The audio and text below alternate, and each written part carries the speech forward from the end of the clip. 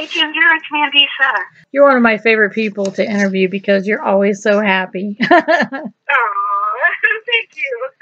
it's probably not always like that, but it just feels that way. yeah, it's definitely not always like that, but I tend to be happy doing this because I enjoy it. Well, I am so happy with your new album. I'm I'm never not happy, but I really love it.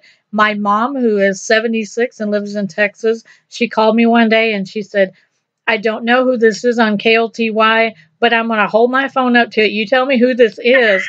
And I said, Mom, that's Mandisa. That's her new song, Good News. And she's like, oh, That's Mandisa. Oh my gosh, I love her. I love her. And she's like, That's ah. her. My mom is flipping over that song. I mean, it is. Ah. It's awesome. That's an honor. Well, thank you. That's pleasant me. Had to give the mama a shout out because she's been like, she's like, you know, are you playing it? I'm loving it. I'm loving it. uh, I'm so happy that you're on the Winter Jam, and I'm very happy you're with Danny Gokey. I'm, yeah. I'm sure you guys are, right? We keep touring with one another. I told him, like, you keep following me. We've been touring straight together for like two years, it seems like. So, yeah, it's my buddy. We have a great time together. He is he is so talented, and he's one of those people who he has a voice where I can I know it's him.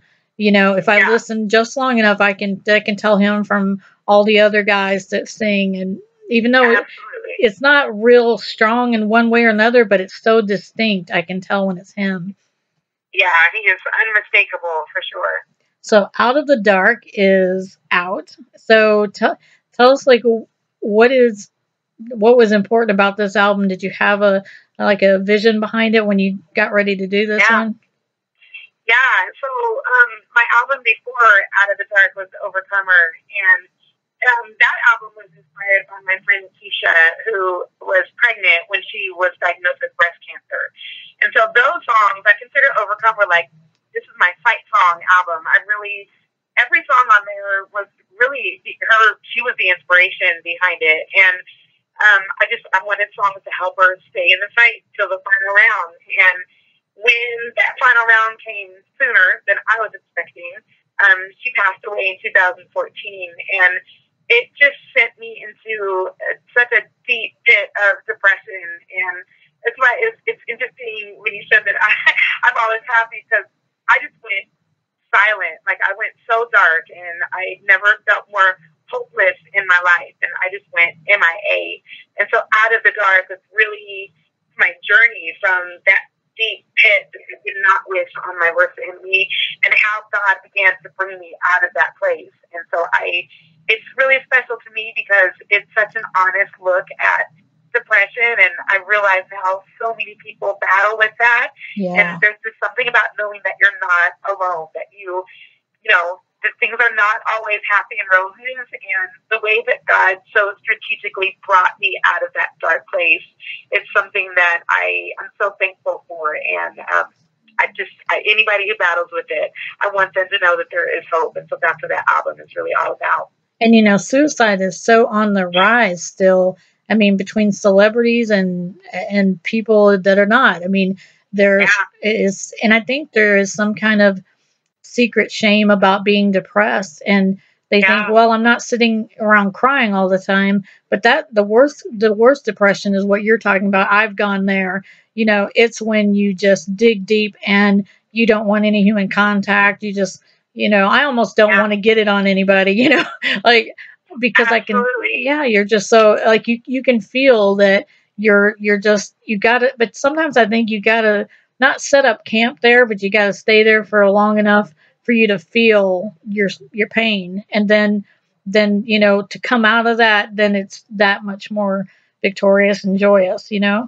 Absolutely. It makes you appreciate the light so much when you spent all that time in the dark. Like it just it's something you don't take for granted anymore. And it's why we have to talk about it. There's this there's something so powerful about it staying hidden. And anytime that it's not talked about, it just gives more power to the enemy to keep us there. And so that's why I feel, I just feel it's my responsibility to let people know it doesn't, so many of us face it, and you're not the only one. And there's just something powerful about bringing it out of the dark and into the light that people they just they have to know you are not the only one that's facing this, and we, we that's why we need each other. We've got to be able to rely on our brothers and sisters in Christ to bring us out.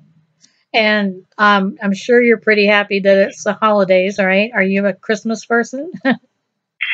I'm not. Honestly, I, I always feel so bad whenever I get asked questions like this because we never, growing up, I never really had any traditions and we don't do the tree and everybody always feels so surprised about that.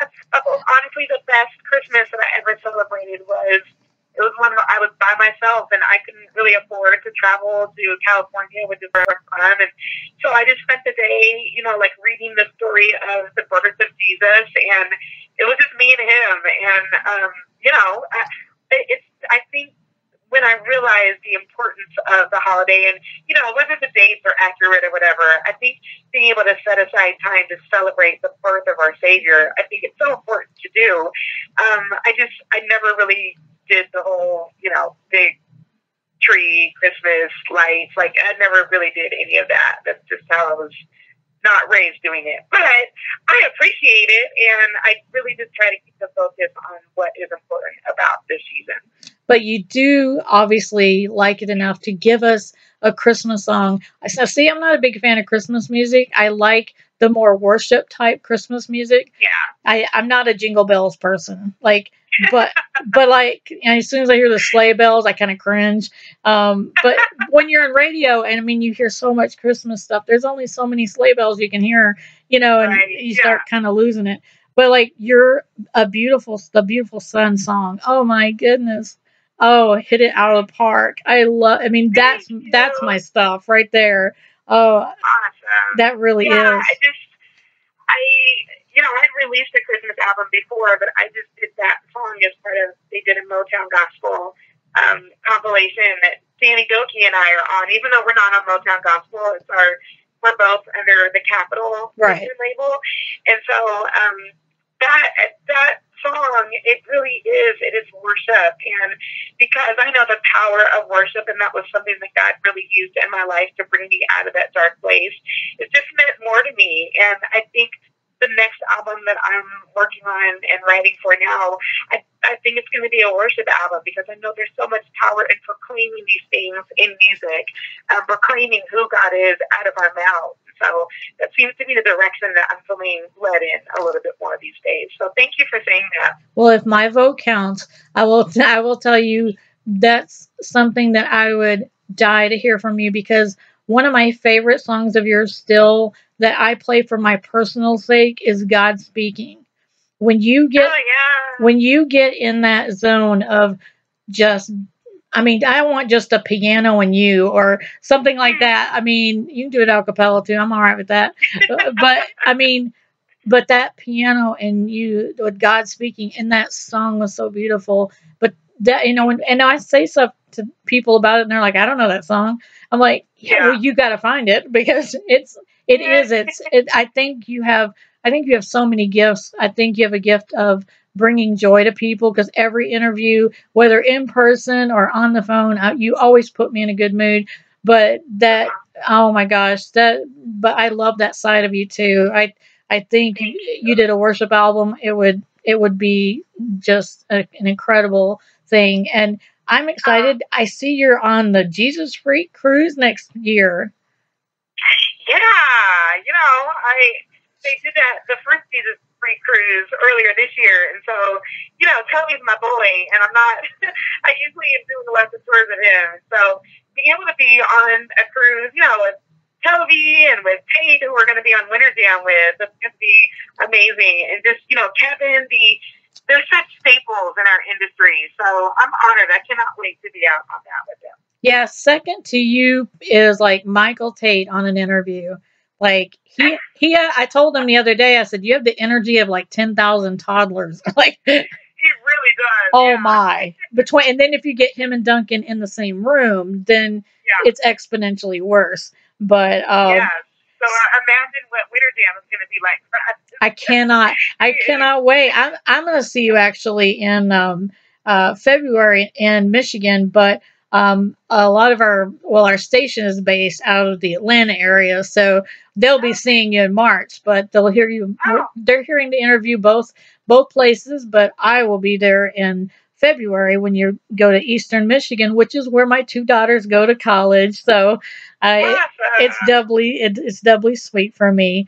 And I just got to tell you, I when I saw your name on that lineup, I was like, yes. Um, and then I mean, Danny, I, I'm dying to see him Yeah. and you, and then having Newsboys all together like that, and Hollyn, and yeah. I mean, it's just uh, Uh, Manic Drive. You just like look down the list, and it, there is no bad names anywhere. Like they, yeah. every single one has got song after song. It's gonna be one big jam party, that's for sure. I agree. It's such a great lineup. I was thrilled when I saw everybody that's going to be on Winter Jam this year. It's going to be an incredible tour. Well, you blessed my life, and you have blessed my mom's life uh, in a little bitty town in Texas. She is in love with you, and sh- when she found out that was your song, she flipped out more. And I just that song really is just. Uh, she she tried to tell me the name of the song and was like trying to say some of the lyrics, and I was like, "Are you Yeah. sure you were listening to a Christian station? What what what are you talking?" Because she wasn't getting the the microphone, the megaphone part. She was saying something else. And I was like, I don't know what you're talking about. And then she's like, see what I mean? The microphone, the megaphone. I was like, that's not how you explained it, but okay. But oh, she was she's a big fan. So um I'm I am a humongous fan of you always and thank you so much for taking time. I know you guys have millions of interviews to do. So um I just appreciate you so much and love you and I can't wait to see you in February and I hope you have a very happy holiday season whichever way you celebrate it. Thank you so much. You're such a joy. You're so encouraging. I appreciate it. Well, I am. I will see you in February, and thank you for that Awesome. Christmas song. I'm. I'm happy. I, I love when I can find me some music like that because that's exactly what I have to do for the Christmas spirit. Is I have to find songs like that, Yeah. You know, to to get me in that state of just thinking about His birth, like nothing else, like, and anything Yeah. else is is in, um, not con- or what do you call it, inconsequential. However, I can't get that word out, Mhm. but I Mhm. I you. I, you know what I mean. but I love you, and I can't wait to see you in February. Thanks, Ginger. I'll see you soon.